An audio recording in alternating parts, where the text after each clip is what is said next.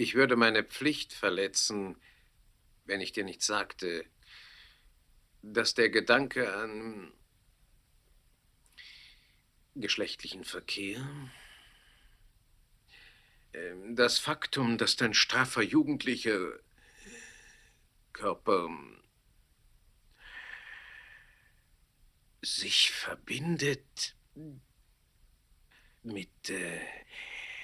dem welken Fleisch, äh, schlaffen Brüsten und schlappen